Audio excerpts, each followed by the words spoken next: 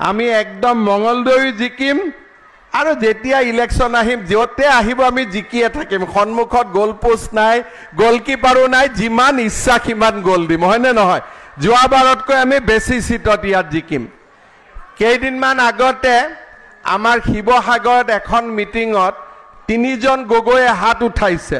আমি কৈছোঁ যে আমাৰ বিজেপিত গগৈও হাত উঠাই বুঢ়াগোহাঁয়েও হাত উঠাই বৰপাত্ৰ গোহাঁয়েও হাত উঠাই সন্দিকৈও হাত উঠাই কোচ ৰাজবংশীয়েও হাত উঠাই আমাৰ বিজেপিত সকলো জাতিয়ে একেলগে হাত উঠাই আৰু আমিয়ে বৃহত্তৰ অসমীয়া জাতি আমাৰ বিজেপিৰ মঞ্চৰ পৰাই আজি আমি এটা শক্তিশালী জাতি আমি নিৰ্বাচন কৰিছোঁ আমি শক্তিশালী জাতি গঠন কৰিছোঁ।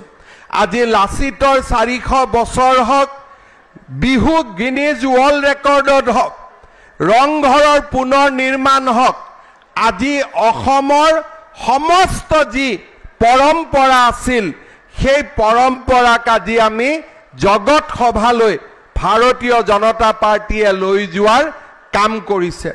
শ্ৰদ্ধাৰ ৰাইজ আজি আপোনালোকৰ আগত থিয় হৈ মই যোৱা দুটা বছৰে কি কাম কৰিলোঁ তাৰ বিষয়ে মই আপোনালোকক ক'ব খোজা নাই। কাৰণ যোৱা দুটা বছৰত অসমত কি হৈছে তাক আপোনালোকে নিজে দেখিছে। আমাৰ অসমত তিনিখন মেডিকেল কলেজ আছিল। আজি বাৰখন মেডিকেল কলেজ হ'ল। অসমৰ গাঁৱে ভূঞে ৰাস্তা পকী হ'ল। এইমছ হ'ল আজি অসমত ব্ৰডগজ ৰেলৰ পৰা আৰম্ভ কৰি আজি বিমানৰ পৰা আৰম্ভ কৰি জল পৰিবহণৰ পৰা আৰম্ভ কৰি দৰিদ্ৰ দুখীয়া ৰাইজলৈকে বিনামূলীয়া চাউল আমি অসমৰ পৰিৱৰ্তন নিজে দেখিছোঁ। আজি আমি যোৱা দুটা বছৰত ৰাইজৰ কাৰণে কিমান কাম কৰিছোঁ তাক মই ক'ব খোজা নাই। ৰাইজে নিজে দেখিছে যে আগতে অসমত ড্ৰাগছৰ বৰ বিষ হৈছিল কোনো পুলিচে ড্ৰাগছ ধৰা নাছিল আজি অসমত আমাৰ চৰকাৰে দায়িত্ব লোৱাৰ পিছত দুহেজাৰ কোটি টকাতকৈ ওপৰ ড্ৰাগছ আমি অকল অসমৰ ভিতৰতে জব্দ কৰিছোঁ অসমৰ ডেকা ল'ৰা ছোৱালীক আমি ড্ৰাগছৰ বৰ বিষৰ পৰা আজি আমি বচাইছোঁ। আজি আপোনালোকে নিজে অনুভৱ কৰে যে আগতে অসমত অপৰাধ কৰি সাৰি গৈছিল। এতিয়া আমাৰ অসমত অপৰাধ কৰি সাৰি যাব নোৱাৰে। পলালে গুলি খাব এৰেষ্ট হ'লে জেল হ'ব ফাঁচি হ'ব। সেই কথাটো আজি গোটেই অসমৰ মানুহে আজি বুজি পায় আজি অসমৰ মানুহে উপলব্ধি কৰিব পাৰিছে। সেইকাৰণে যোৱা দুটা বছৰৰ বিষয়ে মই আপোনালোকক বহুত দীঘলকৈ ক'ব খোজা নাই। মই আজি অহা ছয় মাহত আমি কি কৰিব খুজিছোঁ সেই বিষয়ে আপোনালোকক এটা এটাকৈ মই বুজাই দিব খুজিছোঁ। প্ৰথমতে ইয়াতে হাত উঠাওক ঘৰত ৰেচন কাৰ্ড কাৰ কাৰ নাই? দে দে উঠ মাইহঁত তেতিয়াহে পাবি। হ'লনে ৰেচন কাৰ্ড? ঠিক আছে। এতিয়া মোৰ প্ৰথম কাম হ'ল যে অহা অক্টোবৰ মাহৰ ভিতৰত আমাৰ অসমত যিমান মানুহৰ ৰেচন কাৰ্ড নাই তেওঁলোকক আমি ৰেচন কাৰ্ড দিয়াৰ ব্যৱস্থা কৰিম। যাতে সকলো মানুহে ৰেচন কাৰ্ড পায়। এতিয়া কথাটো হ'ল যে ৰেচন কাৰ্ড পালে আগতে কি পাইছিলোঁ? আমি পঁয়ত্ৰিছ কেজি চাউল আৰু আমি আমাৰ আগৰ বিনামূলীয়া চাউল এই দুটা আমি চৰকাৰৰ পৰা পাইছিলোঁ। এইবাৰ আমি ঠিক কৰিছোঁ যে যাৰ ৰেচন কাৰ্ড থাকিব সেই ৰেচন কাৰ্ড থকা মানুহে এখন প্ৰধানমন্ত্ৰী আৰু মুখ্যমন্ত্ৰী জন আৰোগ্য যোজনাৰ এখন কাৰ্ড পাব। জীৱিকা সখী বাইদেউসকলে আপোনালোকৰ ফটো টটো উঠাই লৈ গৈছে। এই কাৰ্ডখন আপোনালোকৰ ঘৰত আমি অক্টোবৰ মাহৰ ভিতৰত আপোনালোকৰ ঘৰে ঘৰে আমি কাৰ্ডখন বিতৰণ কৰি দিম। তেতিয়া আপোনালোকে হস্পিটেলত ৰেচন কাৰ্ড থকা সকলো মানুহে পাঁচ লাখ টকালৈকে বিনামূলীয়া আপোনালোকে চিকিৎসা সাহাৰ্য পাব। আপোনালোকে হস্পিটেলত পাঁচ লাখ টকালৈকে পইচা দিব নালাগে। এতিয়া যেতিয়ালৈকে কাৰ্ডখন নাপায় ৰেচন কাৰ্ডখন দেখুৱালেও আপোনালোকে সেই বিনামূলীয়া আপোনালোকে চিকিৎসা পাব পাৰিব। এতিয়া আপোনালোকে আহক অৰুণোদয় আঁচনিলৈকে। কিমানে অৰুণোদয় পোৱা নাই হাত উঠাওক। এতিয়া আপোনালোকে চাওক অলপ ইজনে সিজনক ঘূৰি চাওকচোন তেতিয়া সমস্যাটো গম পাব। দিয়ক অৰুণোদয় নোপোৱাবিলাকে হাত উঠাওক। আচ্ছা এই বেটা তহঁতি কিয় হাত উঠাও? চলি মানুহৰ অৰুণোদয় নাই নহয়। দেত মহিলাই অৰুণোদয় পায় আৰু গিৰিয়েকে সুধি থাকে এই টকাটো জমা হৈছে না বুলি সুধি থাকে? এইটোতো নহয় নহয়। সেইকাৰণে মই সকলো গিৰিয়েক মহোদয়সকলক অনুৰোধ কৰিছোঁ যে অৰুণোদয়ৰ খবৰ নল'ব অৰুণোদয় অকল মাসকলৰ এইটো আপোনালোকে বেছি খবৰ লৈ নাথাকিব। ঠিক আছে? ঠিক কৈছোঁ নে নাই মই আচ্ছা। এতিয়া যিসকলে অৰুণোদয় যোৱাবাৰ নিৰ্বাচন হ'ল তেওঁলোকক আমি অৰুণোদয় দহ ছেপ্টেম্বৰৰ পৰা আমি অৰুণোদয় দিয়া আৰম্ভ কৰিম। তেতিয়া কি হ'ব? আজি যিমানে হাত উঠাইছে তাৰে আধা হাত কমি যাব। কিন্তু আধা হাত আকৌ থাকিব। আৰু তেতিয়া আমি আকৌ এবাৰ কি কৰিব খুজিছোঁ? যে গোটেই অসমতে আৰু আঠ লাখ পৰিয়ালক আমি অৰুণোদয় আঁচনি দিম। এই সাত লাখ হৈ যোৱাৰ পিছত। কমলপুৰ সমষ্টিত কিমান আহিব? যদি আমি আঠ লাখক এশ ছাব্বিছ দি হৰণ কৰোঁ আৰু ছয় হাজাৰ ফেমিলি মই অংকত ইমান ভাল নাপাওঁ আৰু আন্দাজত কৈছোঁ পঢ়া শুনা বহুত দিন আগতে এৰিলোঁ নহয়। তথাপিতো প্ৰথমবাৰ পোৱা দ্বিতীয়বাৰ পোৱা এই দুইখিনিক বাদ দি তৃতীয়বাৰৰ কাৰণে আৰু ছয় হাজাৰ ফেমিলিয়ে অৰুণোদয় আঁচনি পোৱা আৰম্ভ হ'ব। তেতিয়া আমাৰ হাতবিলাক আৰু কমি যাব। আৰু যিখিনি হাত থাকিব সেইখিনি আৰু পিছৰ ফালে লাষ্টত চেছ কৰি দিম আৰু ঠিক আছে। গতিকে এতিয়া আপোনালোকে দ্বিতীয় তৃতীয় কথাটো শুনক। অৰুণোদয় আঁচনি আগতে কিমান আছিল? আঠশ ত্ৰিছ টকা। এতিয়া অৰুণোদয় আঁচনি কিমান হ'ল? চাৰে বাৰশ টকা। এইবাৰ খুব সোনকালে আপোনালোকৰ অৰুণোদয় আঁচনি কিমান হ'ব? চৈধ্যশ টকা হ'ব। নতুনবিলাকেও পাব পুৰণাবিলাকেও পাব। চৈধ্যশ টকা আপোনালোকে মাহত পোৱা আৰম্ভ কৰিব। ইয়াৰ পিছত আমাৰ কাৰণে আৰু এটা গুৰুত্বপূৰ্ণ আঁচনি এইখিনি আমি নতুন কৰিম। সেইটো হ'ল আমাৰ ইয়াত কিমান মহিলা আত্মসহায়ক গোটত আছে হাত দাঙকচোন চববিলাক আছে। ঠিক আছে। এতিয়া আমাৰ মাসকলে কথাটো ভাল কৰি শুনি ল'ব। এই বাইদেউটো একদম থিয় হৈ গৈছে। তাই বহুত কষ্ট কৰি আছে নেকি আত্মসহায়ক গোটত। হাত উঠাব দিওঁতে মানুহো থিয় হৈ গৈছে। ঠিক আছে। এতিয়া আত্মসহায়ক গোটত মানে কি? দহজনী মহিলাৰ এটা গ্ৰুপ হয়নে নহয়? ক'ৰবাত এঘাৰজনীও বাৰজনীও। চৰকাৰে আগতে কনকলতা যি দিছিলে বা এতিয়াও আমি যিটো পাওঁ সেইটো গ্ৰুপত জমা হয়। পঁচিছ হাজাৰ দিছিলে গ্ৰুপত জমা হয়। বেংকৰ পৰা লোন পাওঁ বেংকৰ লোনো গ্ৰুপত আহে গ্ৰুপত ঘূৰাব লাগে। কিন্তু গ্ৰুপত ঘূৰোতে ঘূৰোতে আমাৰ আই মাতৃসকলে বহুত কথা বুজি পোৱা হ'ল। যেতিয়া আগত আত্মসহায়ক গোট নাছিল আমাৰ আই মাতৃসকলে নামঘৰত নাম গৈ নাম বৈছিল। ভাদ মাহত নাম কৰে। এতিয়া আমাৰ আই মাতৃসকলে নাম কীৰ্তনো কৰে আৰু ঘৰৰ কাৰণে উপাৰ্জনো কৰে। অৰ্থাৎ আগতে ধৰ্ম কৰিছিল এতিয়া ধৰ্ম আৰু কৰ্ম দুইটাই কৰে। তাৰমানে আমাৰ আই মাতৃসকলৰ প্ৰমোচন হৈ গ'ল। আগত ধৰ্ম আছিল এতিয়া কৰ্ম দুইটাই। এতিয়া আমাৰ আই মাতৃসকলে লাহে লাহে নিজৰ কাম নিজে কৰিব পৰা হৈছে। বেংক মানে কি বুজি পোৱা হৈছে? এইবাৰ মোৰ লক্ষ্য হ'ল যে আমাৰ অসমত চাৰি লাখ আত্মসহায়ক গোট আছে। আৰু চাৰি লাখ আত্মসহায়ক গোটত দহগৰাকীকৈ যদি সদস্য আছে চল্লিছ লাখ অসমত আত্মসহায়ক গোটত কাম কৰা উপাৰ্জন কৰা আই মাতৃ আছে। এই বছৰ আমি এটা নতুন আঁচনি আনিছোঁ। আপোনালোকে এখন ফৰ্ম পাব। সেই ফৰ্মত আপোনালোকে লিখিব লাগিব যে আপোনালোকক যদি আমি সহায় কৰোঁ আপোনালোকে কি ব্যৱসায় কৰিব? বোলে মই কুকুৰা পুহিম মই গাহৰি পুহিম মই দহখন শাল কিনিম মই দুটা ব্ৰইলাৰৰ ফাৰ্ম কৰিম। যি আপোনালোকে লিখাৰ পিছত আপোনালোকৰ বেংক একাউণ্ট নম্বৰটো মই ল'ম। গ্ৰুপৰ একাউণ্ট নহয় গ্ৰুপ য'ত আছে তাত থাকিবই। গ্ৰুপত আমি যি সহায় কৰোঁ কৰি থাকিম। গ্ৰুপটো গ্ৰুপৰ লগত থাকিলে। কিন্তু এইবাৰ আপোনালোকৰ ঘৰৰ বেংক একাউণ্ট নম্বৰটো ল'ম। আৰু ঘৰৰ বেংক একাউণ্ট মানে হাজবেণ্ডৰ বেংক একাউণ্ট নহয় মহিলাৰ বেংক একাউণ্ট ঠিক আছে? আপোনালোকৰ বেংক একাউণ্ট লৈ আপোনালোকৰ বেংক একাউণ্টত আমি দহ হাজাৰ টকাকৈ আমি জমা দিম।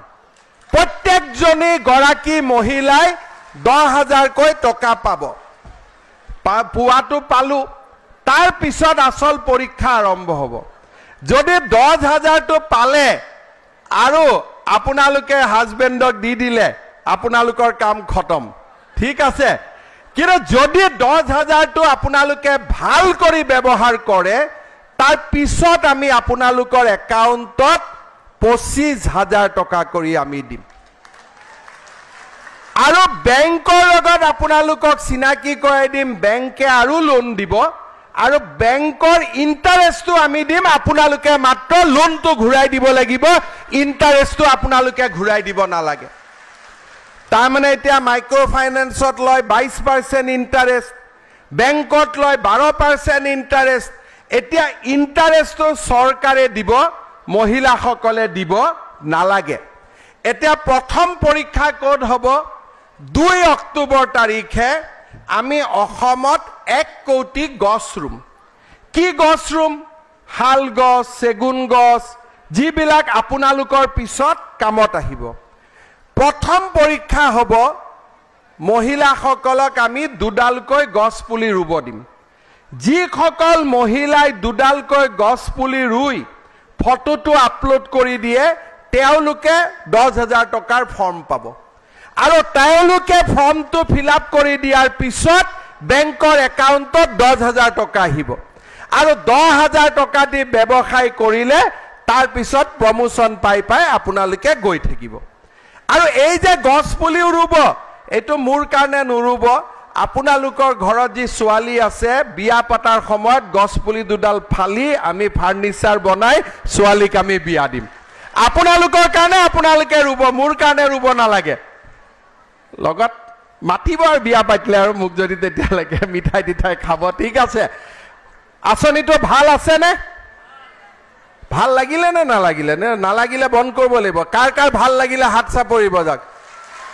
চাওক আকৌ আপাবিলাকে হাত বজাইছে সিহঁতক লাগে পইচা কেইটা। ঠিক আছে? এতিয়া সিহঁতৰ কাৰণে কথা কেইটামান কওঁ। আপোনালোকৰ কাৰণে ক'লো এইবাৰ এওঁলোকৰ কাৰণে। আমি অসমত এক লাখ চৰকাৰী চাকৰি দিলোঁ এক লাখ হোৱা নাই বিছ হাজাৰ এতিয়াও বাকী আছে।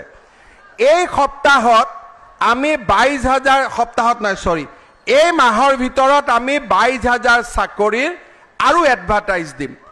অসমত গৰীব দুখীয়া মানুহে টকা নিদিয়াকৈ চাকৰি জীৱনত নাপাইছিল। আজি গৰীব দুখীয়া মানুহৰ কাৰণে চাকৰি সহজ হৈ গ'ল মাত্ৰ ল'ৰা ছোৱালীয়ে পঢ়িব লাগে।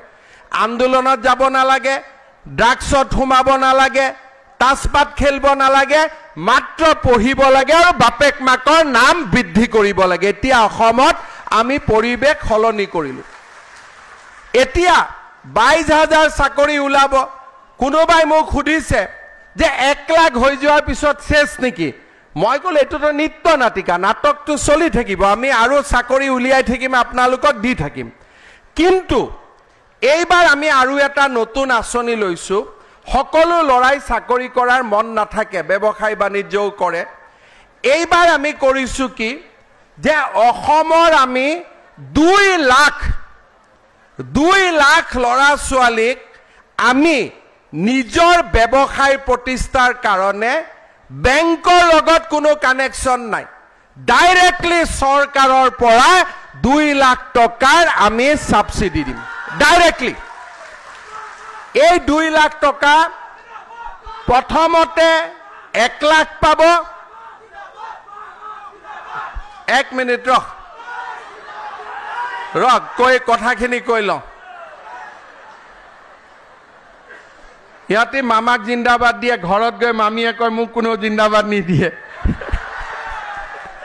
আচ্ছা ৰহ এতিয়া হ'ল দুই লাখ টকাৰ এক লাখ প্ৰথমতে পাম।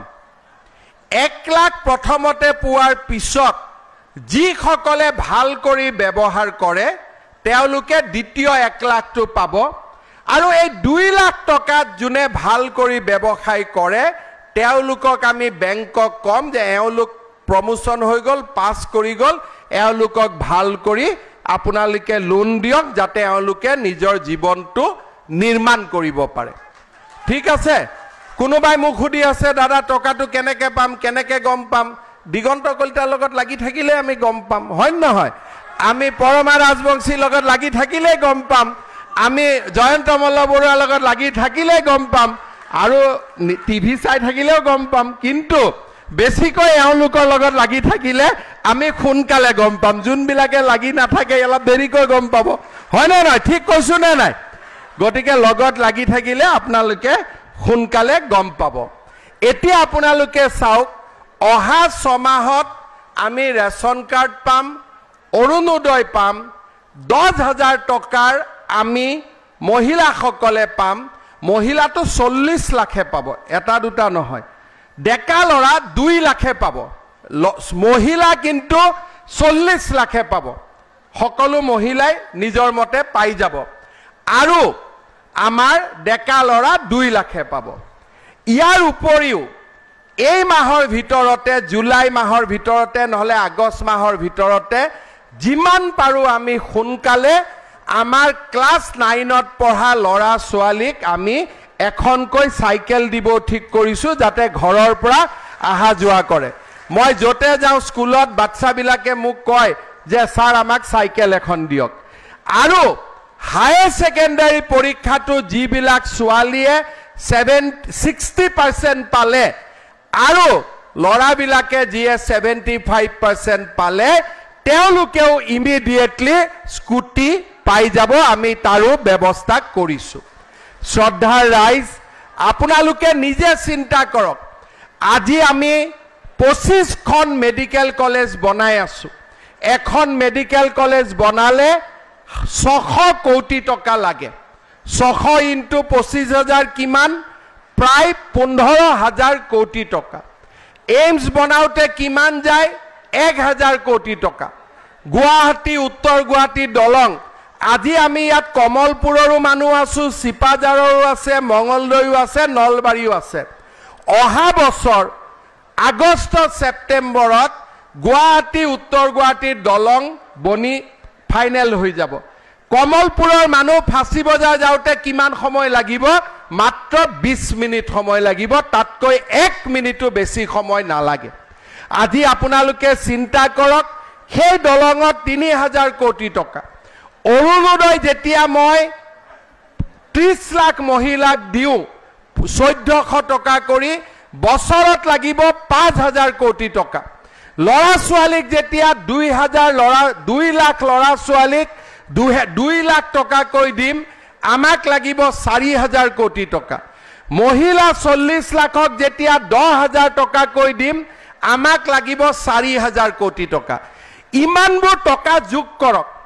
কিন্তু ক'ৰবাত যদি এক টকাও যদি আমি টেক্স লগাওঁ মানুহে মনটোত বেয়া পাব। এতিয়া আপোনালোকে চিন্তা কৰক যে টেক্সো লগাব নোৱাৰো আঁচনিও কৰিব লাগিব। কেনেকে কৰিম? মই অকলে কৰিব নোৱাৰো। এই গোটেই কামবিলাক আমি কিয় কৰিব পাৰো? এজন মানুহৰ কাৰণে আৰু সেই মানুহজনৰ নামে হৈছে প্ৰধানমন্ত্ৰী নৰেন্দ্ৰ মোদী ডাঙৰীয়া। আজি নৰেন্দ্ৰ মোদী ডাঙৰীয়াৰ আশীৰ্বাদৰ কাৰণে আজি আমি সমগ্ৰ অসমখন আমি সুন্দৰভাৱে নিৰ্মাণ কৰিব পাৰিছোঁ। লগতে অসমৰ ৰাইজক মই ধন্যবাদ জনাম যে যোৱা দুটা বছৰ এই যে আন্দোলন নোহোৱা পৰিৱেশ এটা আমি অসমত নিৰ্মাণ কৰিলোঁ সেইকাৰণে আজি আমাৰ অসমখন দুপত দুপে উন্নতিৰ পথত আগবাঢ়িছে। এতিয়া মই সিদ্ধান্ত লৈছোঁ আমাৰ গাঁৱত যিমানবোৰ হাইস্কুল আছে সকলো হাইস্কুলতে পৰ্যায়ক্ৰমে আমি পাঁচ কোটিকৈ টকা দিম যাতে হাইস্কুলবিলাক নতুনকৈ আমি বনাব পাৰোঁ। অংগনবাদী কেন্দ্ৰসমূহত পঁচিছ লাখ টকাকৈ দি আগৰ কংগ্ৰেছৰ দিনত যি মুৰ্গীৰ গঁৰাল টাইপ অংগনবাদী কেন্দ্ৰ আছিল এতিয়া আমি মানুহৰ কাৰণে অংগনবাদী কেন্দ্ৰ আজি আমি নিৰ্মাণ কৰিছোঁ। এই গোটেইবিলাক কাম সম্ভৱ হৈছে প্ৰধানমন্ত্ৰী নৰেন্দ্ৰ মোদী ডাঙৰীয়াৰ কাৰণে। আজি মোদী ডাঙৰীয়াৰ চৰকাৰৰ ন বছৰৰ সফল কাৰ্যকালৰ বাবে আজি আমি ইয়াত সমবেত হ'লোঁ। অসমক তেওঁ আগবঢ়োৱা সমস্ত সুবিধাৰ কাৰণে বা সহায় সহযোগিতাৰ কাৰণে আমি হৃদয়ৰ পৰা কৃতজ্ঞতা জনালোঁ। আজি তাৰ লগতে আমি আকৌ এবাৰ এই সভাত প্ৰতিজ্ঞাবদ্ধ হ'লোঁ যে প্ৰধানমন্ত্ৰী নৰেন্দ্ৰ মোদী ডাঙৰীয়াক আমি তৃতীয়বাৰৰ বাবে ভাৰতৰ প্ৰধানমন্ত্ৰী পাতিম আৰু আমাৰ অসমক ভাৰতৰ সৰ্বশ্ৰেষ্ঠ পাঁচখন ৰাজ্যৰ ভিতৰত এখন হিচাপে আমি নিৰ্মাণ কৰিম। পুনৰ এবাৰ আজিৰ এই সভাখন সুন্দৰ কৰি নিৰ্মাণ কৰিছে। আমি ইয়াতে মিটিং কৰিছোঁ। এই যিখন আমাৰ ষ্টেজ বনাইছোঁ এই ষ্টেজখনো কোনে বনাইছে? এজন অসমীয়া ল'ৰাই বনাইছে উৎপল কলিতাই বনাইছে। আগতে আমি বাহিৰৰ পৰা ব্যৱসায়িক আনি বনাব লাগে। আমাৰ অসমৰ ডেকা ল'ৰাসকল ইমান আগবাঢ়ি গৈছে। ইয়াৰ লগতে আমাৰ পুথিমাৰী ৰাস খলাৰ কামৰ বাট পবিত্ৰ মঞ্চত আমি সমবেত হৈছোঁ। মই বহুত দীঘলীয়াকৈ নকৈ এই পুথিমাৰী ৰাসখলাৰ নিৰ্মাণৰ বাবে পবিত্ৰ মাৰ্ঘেৰিটা ডাঙৰীয়াই পঞ্চাছ লাখ টকা আগবঢ়াইছে দিগন্ত কলিতা ডাঙৰীয়াই দহ লাখ টকা আগবঢ়াইছে। আজিৰ সভাতে পুথিমাৰী ৰাসখলাৰ বাবে মোৰ ফালৰ পৰাও এক কোটি টকাৰ অনুদান এটা মই আজিৰ সভাতে পুথিমাৰী দুৰ্গা মন্দিৰৰ বাবে পুথিমাৰী দুৰ্গা মন্দিৰৰ বাবে এক কোটি টকাৰ মই এটা ঘোষণা আগবঢ়াইছোঁ। লগতে আমাৰ নলবাৰী সমষ্টি ৰঙিয়া সমষ্টি কমলপুৰ সমষ্টি চিপাজাৰ সমষ্টি মঙলদৈ সমষ্টি দলগাঁও সমষ্টি আৰু ওদালগুৰিৰ কলাইগাঁও মাজবাট পানেৰী আৰু ওদালগুৰি সমষ্টিৰ এশটাকৈ নামঘৰৰ বাবে মই আজিৰ সভাতে আঢ়ৈ লাখ টকাকৈ ঘোষণা কৰিছোঁ। আমাৰ বিধায়কসকলে মোক তালিকা দিব আৰু একোটা নামঘৰত আমি আঢ়ৈ লাখ টকাকৈ আমি আগবঢ়াম আৰু এই গোটেই কামবিলাক আমি ছমাহৰ ভিতৰতে শেষ কৰিম। পুনৰ এবাৰ আপোনালোকক ধন্যবাদ জনাইছোঁ। মোৰ লগত আকৌ এবাৰ এইবাৰ একদম মনৰ পৰা মোদী ডাঙৰীয়াই শুনাকৈ দুটা আপোনালোকে শ্লোগান দিব। ভাৰত মাতা জিন্দাবাদ নৰেন্দ্ৰ ভাৰত মাতা কি জয় নৰেন্দ্ৰ মোদী জিন্দাবাদ।